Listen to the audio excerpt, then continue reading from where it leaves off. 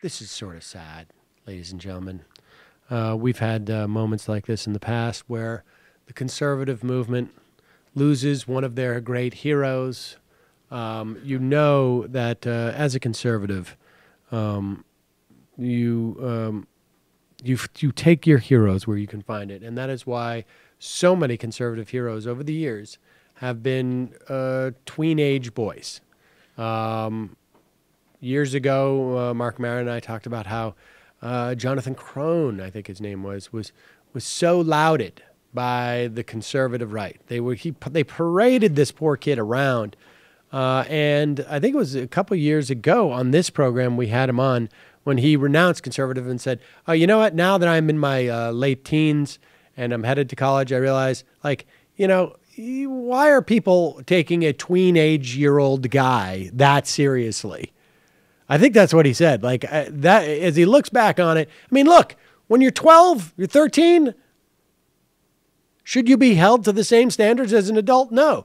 But the real question, and Jonathan Krohn put this uh, to them, was like, why were all these grown-ups looking to me like I knew what I was talking about? And well, they've lost another one, uh, ladies and gentlemen. And this um, this uh, teen star, uh, right wing I guess, um, icon, is now basically saying he, he wants to not be known as uh, political one way or another, which is probably a smart business move. Uh, but uh, beyond that, he's also evolving and maturing. Here it is. Um, this is C.J. Pearson announcing that um, he is not only. Uh, oh, we don't. Do we have a video from him? Uh, yeah, but it's not him re- renouncing conservatism. It's from his most popular okay, well, let's video. listen to his popular viral video. Remember, this is the guy who was the national chairman of Teens for TED. This is the video that got him that gig, basically. Yeah,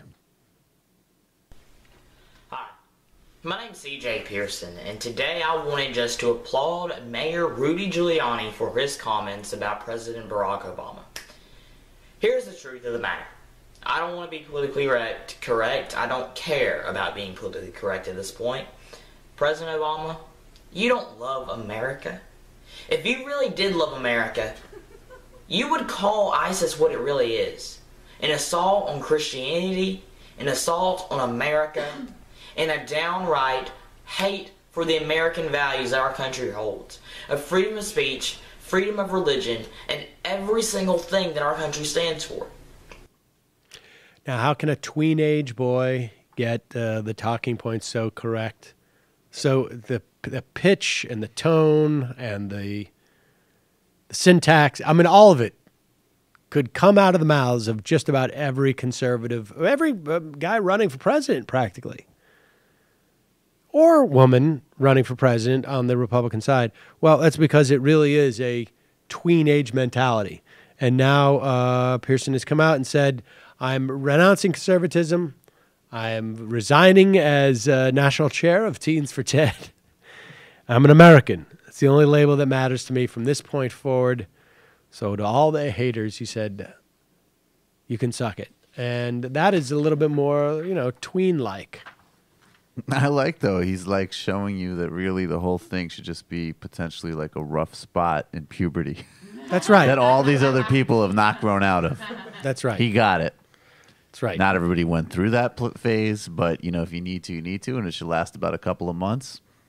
Tweenagers, just uh, no. I mean that um, it is. Uh, Kid is right about one thing. you get you get through the uh, the puberty, you get through the uh, conservatism, and, Right. and you'll grow out of it.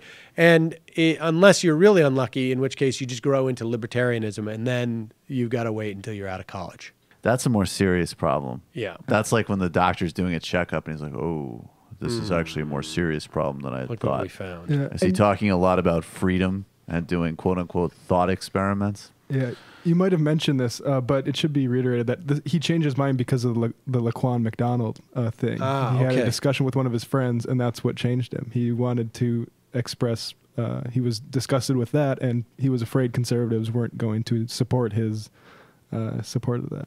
That's pretty. Um, th- I mean, that's I guess. I mean, pretty stunning in some way. But I guess it always takes one issue for um, people and kids uh, to to see you know just how warped the ideology is, and I imagine he'll start to see uh, see it more broadly uh, going forward.